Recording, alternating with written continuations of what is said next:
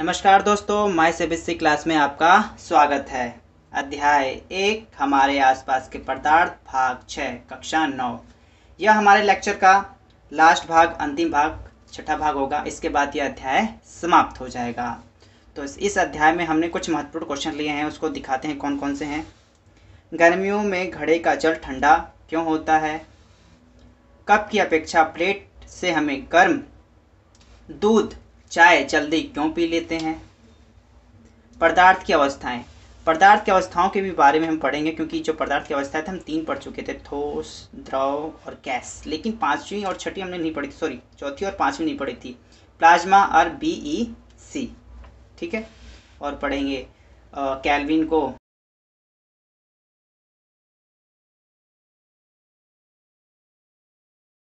बारे में। तो चलिए, शुरू करते हैं।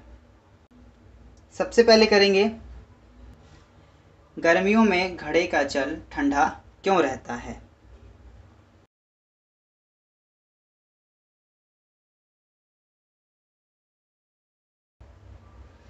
तो घड़े की सतह पर छिद्र पाए जाते हैं छोटे छोटे छिद्र पाए जाते हैं। इन छिद्रों से निकल के पानी का वाष्प उत्सर्जन होता रहता है और जिस सतह पर वाष्प उत्सर्जन होता है, वह सतह ठंडी हो जाती है। साफ़ है? जब घड़े की सतह पर वाष्प उत्सर्जन की प्रक्रिया चलती रहती है, उससे उसकी दीवारें ठंडी होती रहती हैं। इसी के चलते मटके का पानी ठंडा रहता है। तो इसे कैसे समझते हैं आपके लिए? एक ड्राइंग बनाता हूँ मैं।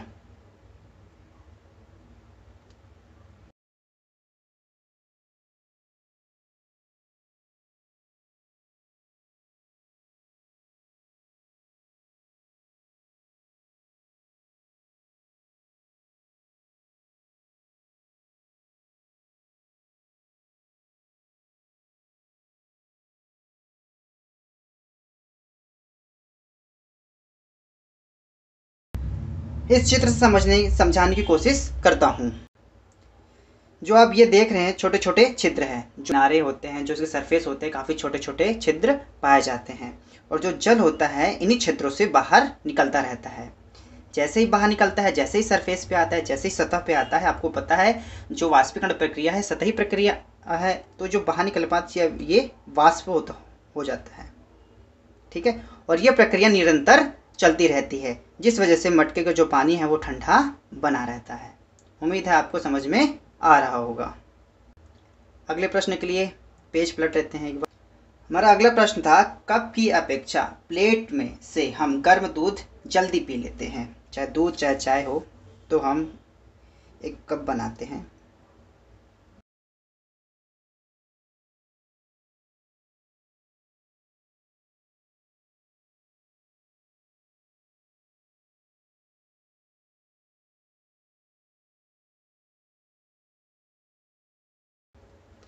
Cup plate.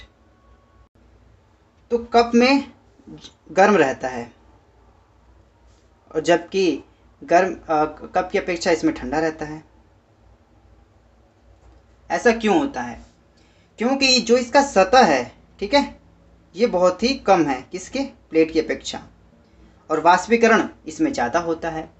जिस वजह से प्लेट में रखा दूध या चाय जल्दी ठंडा हो जाता है जबकि कप में रखा, जल्दी ठंडा नहीं होता, क्योंकि वाष्पीकरण एक सतही प्रक्रिया है, जिस वजह से प्लेट में जल्दी होता है। अगला प्रश्न था,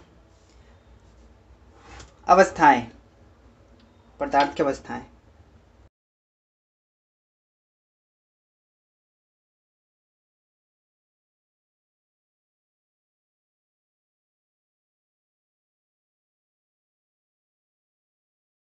आज हम करेंगे चार नंबर प्लाज्मा।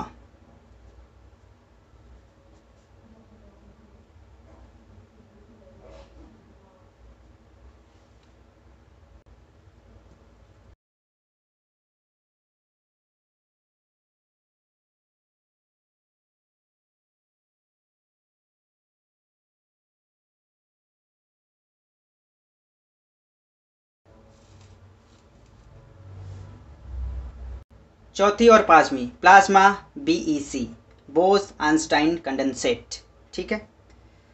तो ये आपके एनसीईआरटी के बुक में भी दिया गया है। वहाँ साहब थोड़ा सा पढ़ते देखते हैं कि वहाँ पे उन्होंने क्या कहा है ठीक है? अब वैज्ञानिक पदार्थ की पांचवी अवस्थाओं की चर्चा कर रहे हैं। पोल आइंस्टाइन कंडेंसेट ठोस द्रव गैस और प्लाज्मा। पहले हम प्ला, प्लाज्मा के बारे में पढ़ेंगे। इस अवस्था में कण अत्यधिक ऊर्जा वाले और अत्यधिक उत्तेजित होते हैं। ये कण आयनीकृत गैस के रूप में होते हैं। फ्लोरसेंट ट्यूब और नियॉन बल्ब में प्लाज्मा होता है। नियॉन बल्ब के अंदर नियॉन गैस और फ्लोरोसेंट ट्यूब के अंदर हीलियम या कोई अन्य गैस होती है। विद्युत ऊर्जा प्रभावित होने पर यह गैस आयनीकृत यानी आवेशित हो जाती है। तो जो पांचवी अवस्था है, उसे आवेशित अवस्था मानी जाती है। आवेशित होने से ट्यूब या बल्ब के अंदर चमकीला प्लाज्मा तैयार होता है। यही पांचवी अवस्था है। प्लाज्मा तैयार होता है। ठीक है? और यही कारण है जिसकी वजह से जो सूर्य और तारे चमकते हैं, यही कारण अगर आगे ध्यान से देखें तो प्लाज्मा के कारण ही सूर्य और तारों में भी चमक होती है। उच्च तापमान के कारण ही तारों में प्लाज्मा बनता है। उम्मीद है समझ में आ रहा होगा। और इसकी पांचवी अवस्था है B E C Bose Einstein condensate ठीक है? सन 1920 में भारतीय वैज्ञानिक, याद रखना जो पांचवी अवस्था हो, भारतीय वैज्ञानिक ने पहले ही खोज दी थी। सत्येंद्र नाथ बोस ने पदार्थ की पांचवी अवस्था के लिए कुछ गणनाएँ की थी। इन्होंने प्रकाशित नहीं किया था, लेकिन गणनाएँ की थी। अब उन्हीं गणनाओं के आधार पर अल्बर्ट आइंस्टाइन ने पदार्थ की एक नई अवस्था की भविष्यवाणी कर दी थी। और जो आइंस्टाइन है, इन्होंने बोस आइंस्टाइन के गणनाओं के आधार पर एक भविष्यवाणी की थी कि नहीं, एक पदार्थ एग्जिस्ट करता है, एक पांचवी अवस्था होती है, जिसे बाद में खोज भी लिया गया, जिसे बोस आइंस्टाइन कंडेंसेट बीईसी कहा जाता है। और ये इसके लिए नोबल पुरस्कार भी मिला बाद में वैज्ञानिकों को। और किसे मिला? सन 2001 में अमेरिका के Eric A. Cornell Wolfgang Ketterle और कार्ल ई. फेमन को बोस आइंस्टाइन कंडेंसेट की अवस्था प्राप्त करने के लिए भौतिकी में, ठीक है, नोबल पुरस्कार से सम्मानित किया गया।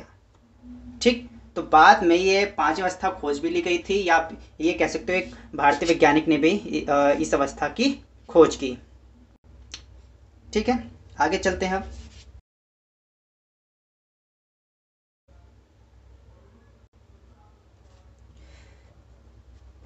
कैलविन को डिग्री सेल्सियस में बदलना।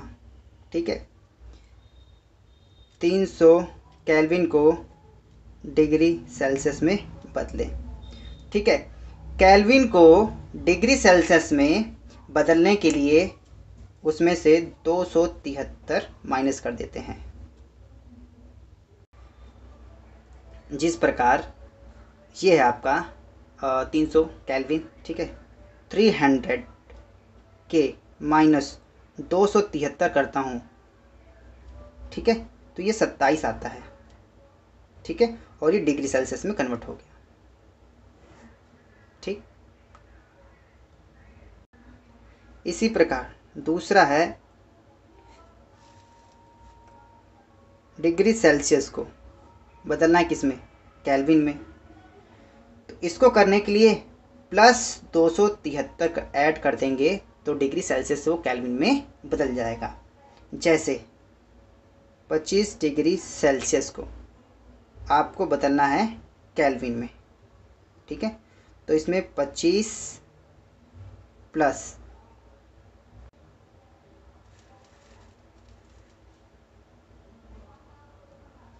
To seven three